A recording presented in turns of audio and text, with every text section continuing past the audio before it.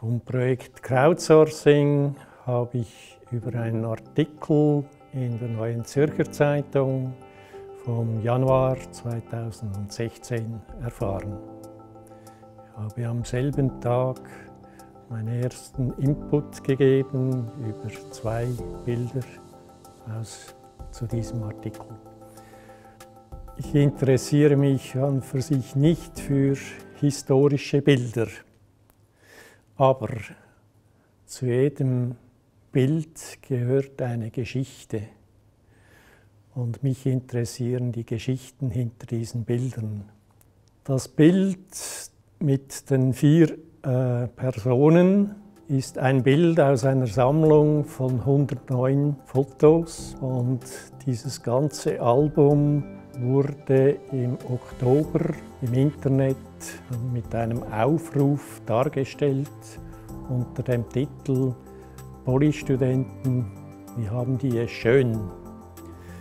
Und da ich selber Student war an der ETH, hat mich dieses Thema interessiert.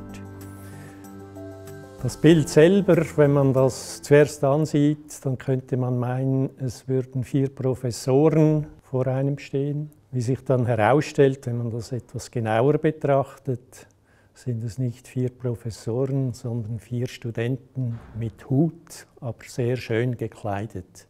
Und das hat mich dazu bewogen, diese Serie etwas genauer anzusehen.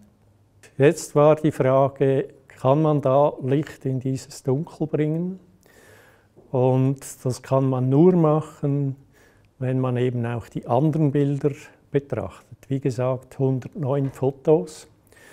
Und da ging es darum, aus welchen Fotos kann man eine Aussage machen, um da hinter dieses Geheimnis zu kommen.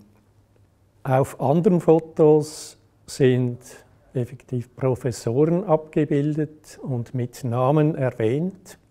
Und das war jetzt der Schlüssel dazu, dass ich auf der Homepage der ETH und der Geschichte nachgeforscht habe, ja, was haben denn diese Professoren Rohan, Meyer und Beschlin doziert. Das ist, der Aufwand ist sehr unterschiedlich. Wir je nach Thema und Foto kann das Minuten dauern, es kann Stunden dauern, es kann Wochen dauern und hier und da sind auch zusätzliche Abklärungen notwendig bei anderen Stellen und dann kann es auch Monate dauern.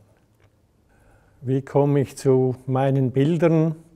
Es ist klar, äh, als Ingenieur habe ich ein Flair für Sachen, die mit Technik zu tun haben. Ich bin Vermessungsingenieur. Ich habe auch ein Flair für Luftbilder. Ich reise sehr gerne. Äh, hier und da kommen Aufrufe für bekannte Orte, wo man schon mehrmals war. Und dann fällt es natürlich einfacher, diese Sachen zu bearbeiten. Aber ich konzentriere mich auf Sachen, wo ich irgendwie gewisse Kenntnisse, Vorkenntnisse habe und die suche ich auch über Suchbegriffe, die ja im Prinzip bei dieser Suche möglich sind.